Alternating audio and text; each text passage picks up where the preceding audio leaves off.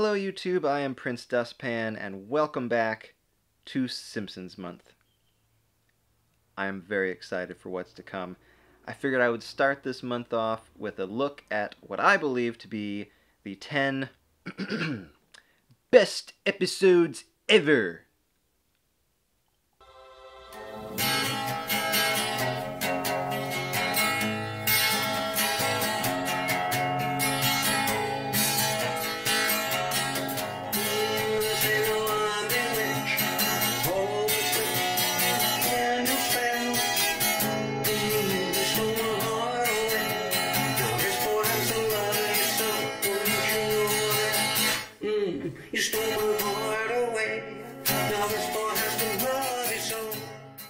So, of course, as with most top 10 lists, these choices are completely subjective and mostly arbitrary. These are my personal opinions. They will most definitely differ from yours. There's over 27 seasons of shows to choose from, so to make things a little easier, I have restricted myself to just the 17 seasons that are released on DVD. And to be perfectly honest, as far as the 10 best episodes go, I wasn't going to pick anything after season season 17 anyway. Would you? Come on. Let's get started. Number 10. The 138th episode Spectacular. Yes, this is a clip show that made the top 10. Because, well, quite frankly, when it first aired, I didn't even realize it was a clip show. Granted, I was about 7 or 8 years old, it's pretty easy to fool kids, but it was a well made show, and dare I say it, the best clip show ever made. Because it wasn't just relying on clips that we've seen before. They tried to do something a little more unique, a little more special with it, and they used deleted scenes, they used rarely seen footage, behind the scenes stuff. They they it was still a clip show. It was still about 10% new material, but they managed to make everything old shown seem like it was new. They presented things as montages, sort of a greatest hits of Simpsons moments, and they showed, yeah, a lot of deleted scenes. Scenes that never made it to air, which made it very unique for the time. Come on, come on, girls. Shake, shake, shake. Smithers, it's out of control. Him out, sir.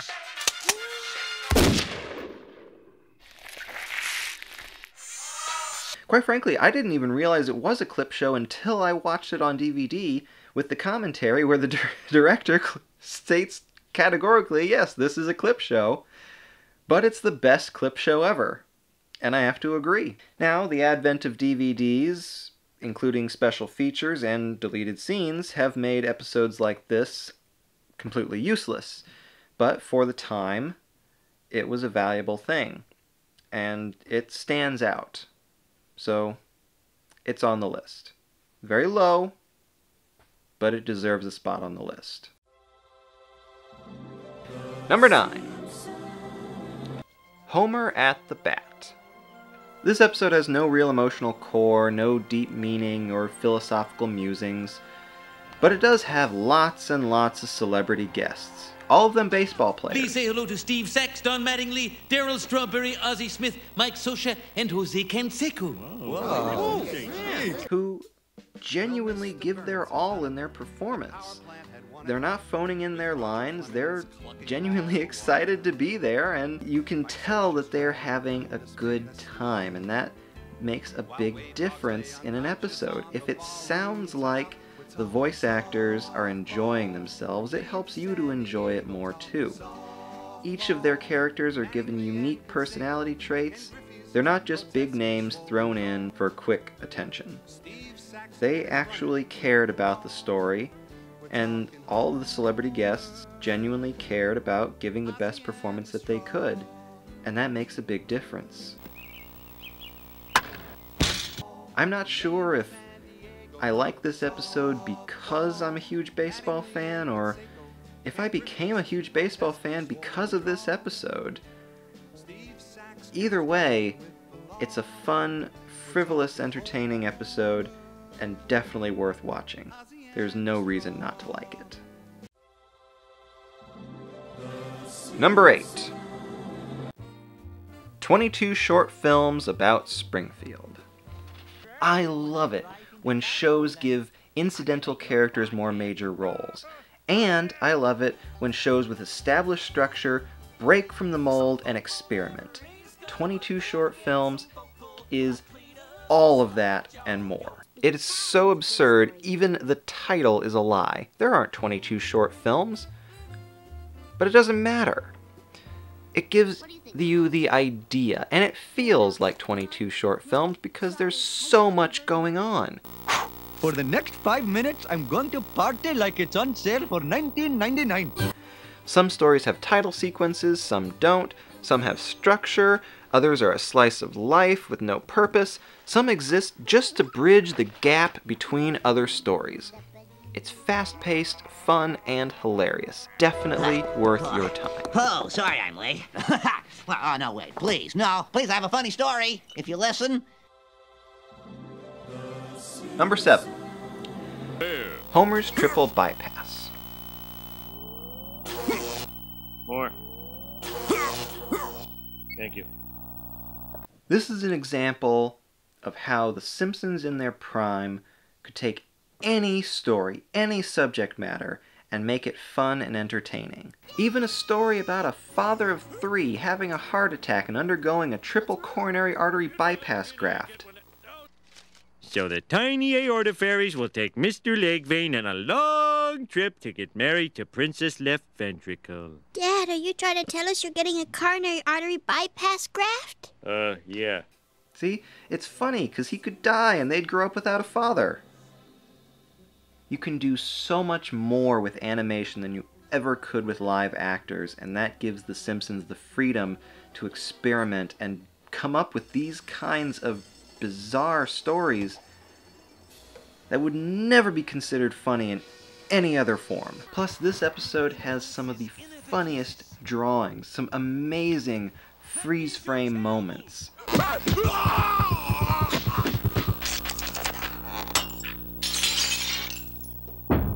There's some charming backstory, hilarious flashback sequences, and as well as just some charming moments sprinkled throughout the whole thing. The Simpsons is the only show I can think of that can go from a scene as off the wall and hilarious as this Come on, come on.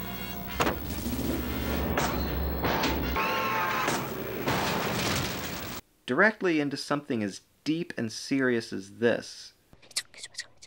But don't worry because you've got a big brother who loves you and will always look out for you. Oh, Dad. and still manage to keep the audience entertained and coming back for more. Number 6. Hmm? El viaje misterioso de nuestro Homer. Sunrise, sunset. Rise, sunset. Sunrise, sunset. Sunrise, sunset. Sunrise, sunset. Johnny Cash as a space coyote. What more do you need to know? Alright, okay. It also has some amazing dream sequence animation, a storyline inspired by the works of Carlos Castaneda, some of the most memorable lines, and hilarious moments like this. It's chili! Oh my god, I'm missing a chili cook-off! I'm missing a cook-off! It's going on right now and I'm missing it! and a feel good ending that leaves you understanding more and more of just why Homer and Marge are still together after all these years. Number 5 Two cars in every garage and three eyes on every fish. Is your boss governor yet? Not yet, son, not yet. It's been speculated that you could recreate several famous movies using only clips from The Simpsons. More specifically, Godfather and Citizen Kane. And a lot of the Citizen Kane ones come from this very episode. Mr. Burns runs for governor in an almost beat for beat parody of the movie. Minus, of course, the three eyed fish plot thread, Ugh, I hate that fish. Which was masterfully woven into the storyline by the writers. Little did they realize that that fish would become an iconic image of the show, becoming synonymous with The Simpsons altogether, even if they don't use it too often anymore. This is yet another example of how the earlier episodes of The Simpsons were able to weave charming, heartwarming, emotional stories with hilarity ensuing. Oh, yeah? Well, I'm a Burns booster. Ow! There's just a feel, a, a warmth, a indescribable idea that comes with these earlier episodes. This one being a prime example. Spectacular writing, an emotional core, a lot of funny moments, all overarching with a movie parody. It just feels like they were trying a lot harder back then, and it really shows. Number 4 Two Bad Neighbors. Are you saying you and Barbara are bad neighbors? No, that's not Bar and me. It's them. Who? Maude and me? No, the man and his boy. You know, the the boy is named Bart. I don't know the name of the man. This is an episode that has disappointed a lot of people, particularly those of a certain generation. You have an episode here that involves George H.W. Bush, a man who in real life publicly criticized The Simpsons on more than one occasion. We are going to keep on trying to strengthen the American family to make American families a lot more like the Waltons and a lot less like the Simpsons. moving in to a house across the street from Homer and Marge. You have the perfect setup for all manner of political satire. And they don't deliver on that. They subvert the expectation of the average viewer. And this upset a lot of people.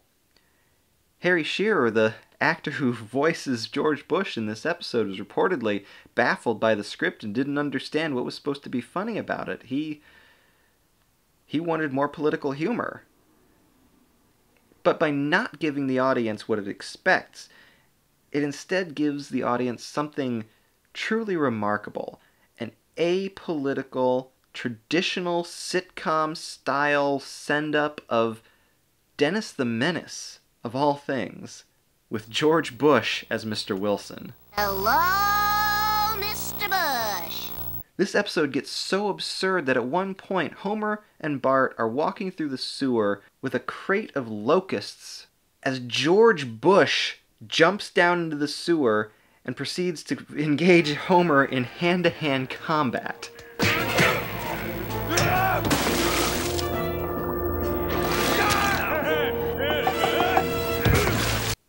And it happens so gradually that you see this occur and you think, yeah, this seems reasonable.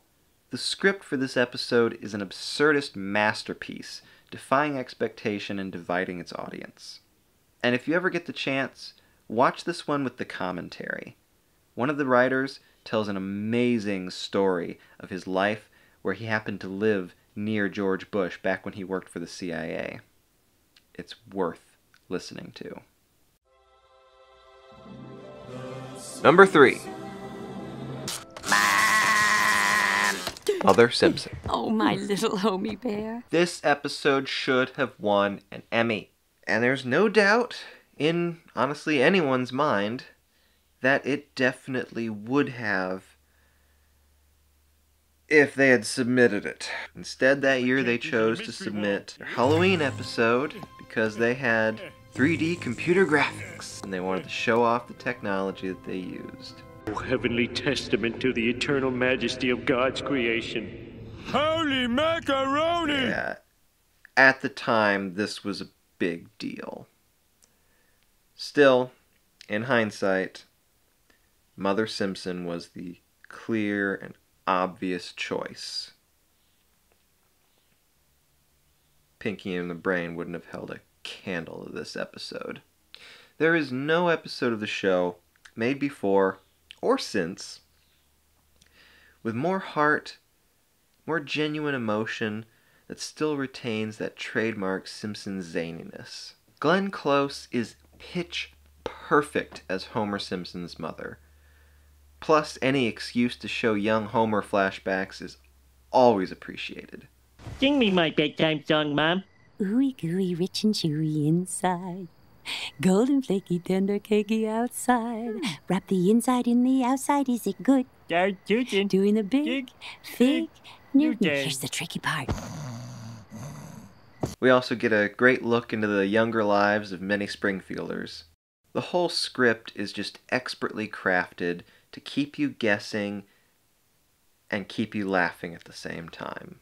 Remember, whatever happens, you have a mother, and she's truly proud of you. It's those little moments that make the show stand out in history.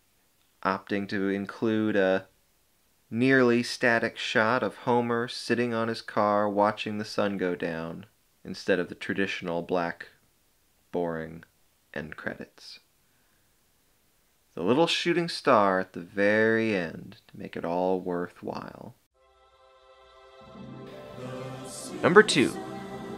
Simple villages, I promise you I will close plates in America and bring work here. Viva, Senor Burns! Viva! Viva! A Star is Burns. Before I begin with this one, I feel I need to inform you about a little show called The Critic. A wonderful little gem of a cartoon killed long before its time by a vindictive studio executive. Jon Lovitz and a cast of the most talented voice actors in the business in a show created by former Simpsons producers all about movies? Yes, please! The show managed one short season on CBS before being moved to the Fox network for a second. To increase viewership, the Fox network decided to introduce the character Jay Sherman on an episode of The Simpsons. Uh-oh, I smell another cheap cartoon crossover. Bart Simpson, meet Jay Sherman the critic. Hello. Hey man, I really love your show. I think all kids should watch it. I suddenly feel so dirty. This leads not only to the greatest crossover in animation history, but also to a great reunion of some of the best producers in the business. There are so many great moments, quotable lines, On closer inspection, these are loafers. I was saying Burns. gorgeous images, as well as hideous ones. I adore this episode. There's just simply too much here to talk about in a short blurb. The best thing you can do is watch it for yourself. And again, if you have the opportunity with this one, watch it with the commentary. Jon Lovitz riffing with Dan Castellaneta and Simpsons producers is an indescribable thing. I think we have a winner. What I mean. And the number one Simpsons episode is Last Exit to Springfield. Go Too far and get corrupt and shiftless, and the Japanese will eat us alive. The Japanese? Those sandal wearing goldfish tenders? Bosh Flimshaw! I know this seems like a strange choice. This episode isn't particularly sentimental or even that famous. At least not around here, anyway. I never even saw the thing until years later. I missed this episode when it first aired. I was only four years old. And for some reason, my local Fox affiliate never, ever showed it in reruns. They'd show Mr. Plow three times in one month, but rarely would they dip into the more cerebral episodes of the early seasons. I never really got a chance to see this episode until the DVDs came out. And it's a real shame because when I finally did see it, I was so thoroughly impressed. This episode is layers of comedy upon drama, upon storytelling, upon different kinds of comedy. This episode was made just before Al Jean and Mike Reiss broke away to make The Critic. You can tell the new show is on their minds by the sheer number of movie references, both subtle and direct. The show starts with a general parody of all Schwarzenegger films. Human misery. Ah. Nice to see you. Then gives us Marathon Man, Yellow Submarine, Batman, Godfather, Tucker, How the Grinch Stole Christmas, and I'm sure I missed a few more.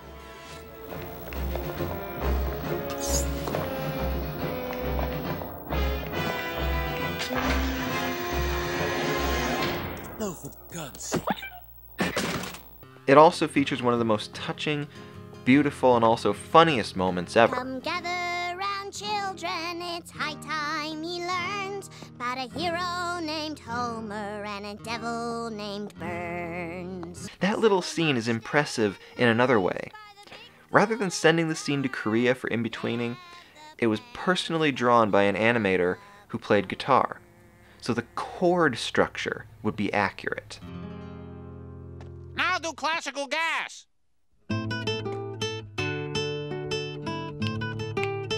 Even just the fact that Lisa plays classical gas, it just makes me smile every time. And the way that Lenny bobs his head to it is perfect. This attention to detail is one of the things that separates The Simpsons from other shows, and it's what makes this episode significantly more impressive than other ones. Add to that some of the backstory you get from watching the DVD commentary. This character was originally going to be played by Anthony Perkins. How perfect would that have been? Unfortunately, Perkins died shortly before recording began, and Hank Azaria stepped into the role, doing a wonderful job, but just imagine how much better this scene could be if Norman Bates were wearing that white coat. Hold still while I gas you. All of these things add up to one of the most memorable and enjoyable episodes ever made. There's a richness, a depth to the story, a, a warmth to the animation. It's early enough in the series that they're still trying really hard.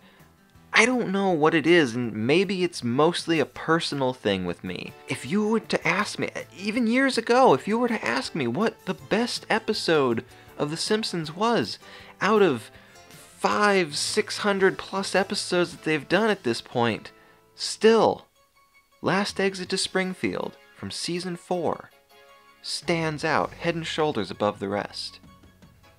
So that's my list. Like it? Hate it? Agree? Disagree? Let me know in the comments below.